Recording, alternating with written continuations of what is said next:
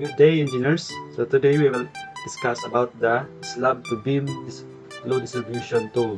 So ito yung version 1.2 na ginawa ko. And aside from that, uh, mas updated na yan kasi ginawa ko yan sa Visual Basic uh, 6.0 na programming language.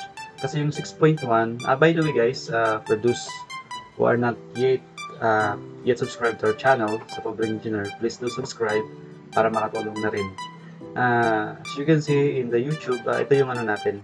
Ito yung version 1.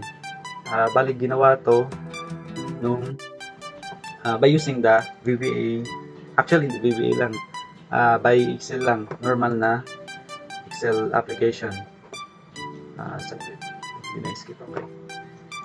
so as you can see uh, ito by Excel lang so this is the version 1 so bali in-update ko na yan by using sa tool natin. Ito, yung slab to beam load distribution tool 1.2. So, kasi uh, nandun yung 1.1 na Excel lang, din 1.2. So, i-discuss muna natin before tayo mag-sample.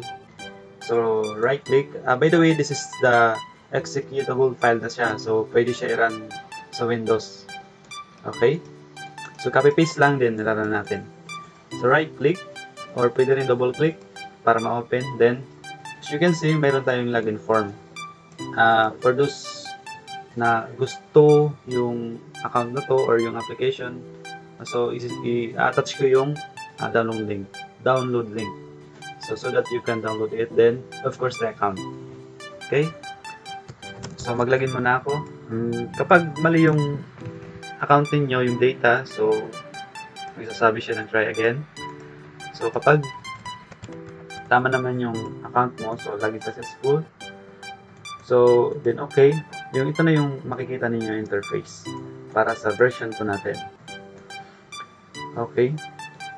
So, discuss ko muna to uh, before tayo mag-sample. As you can see in the right side figure, so may one way slab tayo, then the two way slab. So, yung S natin represent the short span, L long span, then yung uniform load yung W natin. Then, uh, upon the calculation, makukuha natin yung ratio. Then of course, yung converted uh, sur surface load or the pressure load from the slab to the beam. So sa beam naman, nakakilonewton per meter na siya or the linear load na siya. So let's say, uh, mag-sample tayo ng uh, floor, actual floor. Okay. So as you can see in the uh, framing plan, So, yung short span natin dito, kasi typical lang yung sa X is 4.5, then sa Y is 4.83. So, short span natin dito is 4.5. Then, yung long span naman is 4.83. So, let's say, mag, mag ano lang tayo ng sample ng isang span ito. Okay, so, ang first step na gagawin niyo is, kailangan muna natin i-check i-check yung uh, of course, yung type of slab, kung one way o two way siya. So, input natin short span, 4.5, long span is 4.83. Then, uh, yung corresponding na surface load, sabi natin 4.8 kPa. Once i-calculate natin, sabi, sabi niya dito is two-way slab. So, kung two-way slab siya, dapat yung distribution ng ng load natin is trapezoidal siya. So, yun. Yung trapezoidal, dapat yung triangular load mo is dapat nandun sa short span. Okay? So, ito mangyayari sa mga uh, slab natin. Ito yung representation. Okay? Drawing ko lang muna, then ipakita ko lang yung distribution. So, ang mangyayari kasi nito, ah, uh, ito, yung red na yan now load is for beam 11. While yung load na to is para sa beam 33. Tapos, yung para naman sa load na to is para sa beam 25. Then, ito, post lang tayo dito guys ha. Just ano yan. Ito, lalagyan ko pa to.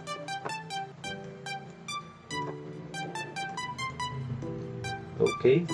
So, medyo pangit pero consider nyo lang. Okay, then, ito naman, ito yung green na yan is para sa 37. So, ito yung distribution natin. So, paano natin yan makakonvert into uh, linear load which is yung magiging, for example, yung, ito yung beam natin, ito yung beam din, ah, may support tayo, kailangan natin i-transfer into linear load yon na naka kilonewton per meter. Dapat naka kilonewton per meter siya. Okay? Yun. Okay, so using this tool, as you can see, na, na identify natin yung anong klaseng slab siya. So that is the way.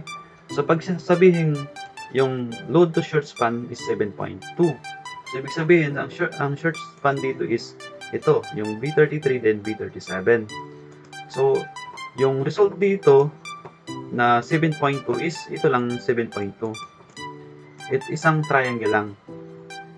So, same lang naman. So, dapat i-times 2 mo para makuha mo ang load na ng 33.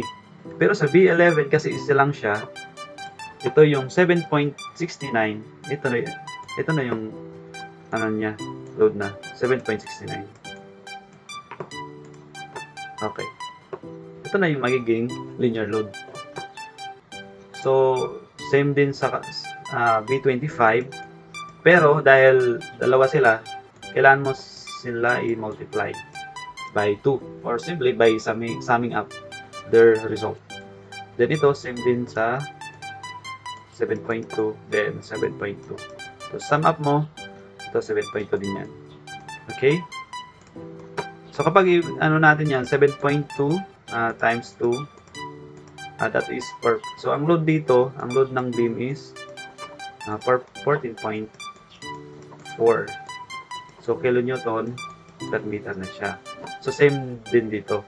Then, yung sa kabila naman, para sa B25, that is 2 times uh, 7.69 that is uh, okay, yung load dito ng B25 is 15.38 38 yun is 38 kilonewton meter so yun lang kadali then yung B11 ito na yung mismo uh, ito na mismo yung load natin kasi isa lang siya.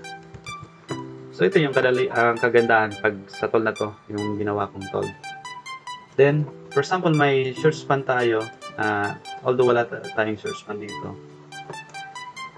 Pwede natin yan i sabi natin 2 sa 5 once i-click natin so that is one way slab kasi this is less than 0.5 ng ratio sa short to long span ng uh, slab natin then yung short span natin yung distribution wala siya kasi yung load lahat ita-transfer natin doon sa magkabilaan na long span beam so yun yun lang so by the way paano nakuha si ano si long span I mean si one way distribution.